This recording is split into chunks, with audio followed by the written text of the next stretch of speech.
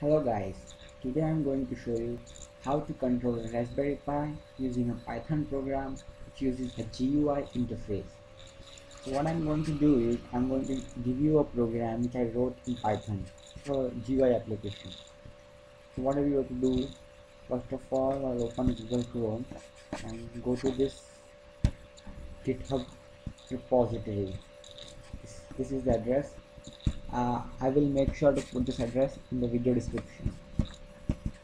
And what you need to do is download this file right here marktwine.py uh, you can click here clone or download and download zip. I have already I already have this file so I'm not going to do it. Let me minimize this file. So you download. This is a file which you get. Now let me open this using IDLE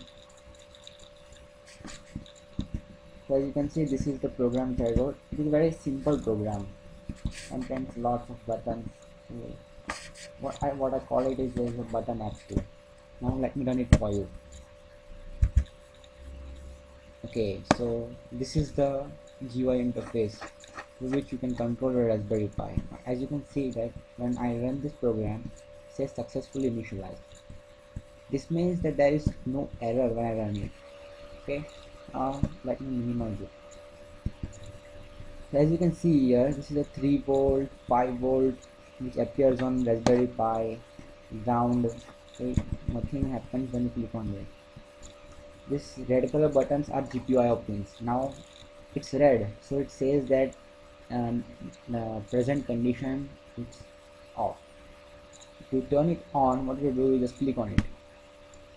Just turn on.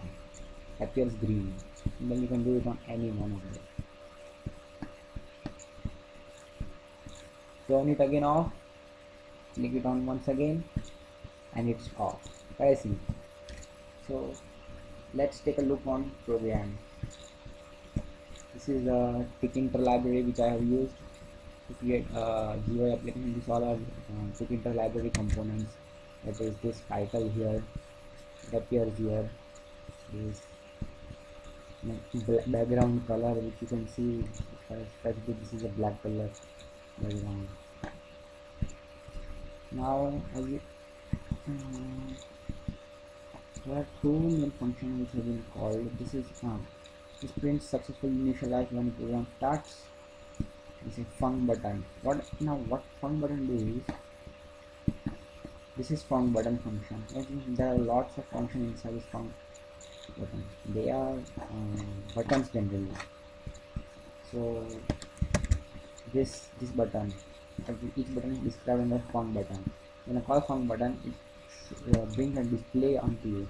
And when I click on any of this this command function and the lambda one line function call calls on GPIO function. This on GPIO function is similar to what you do turn on or off the GPIO normally so turns on turns off yeah that's it. Very simple. You can feel free to modify this code comment your new program on my video. Thank you friends. I think you have enjoyed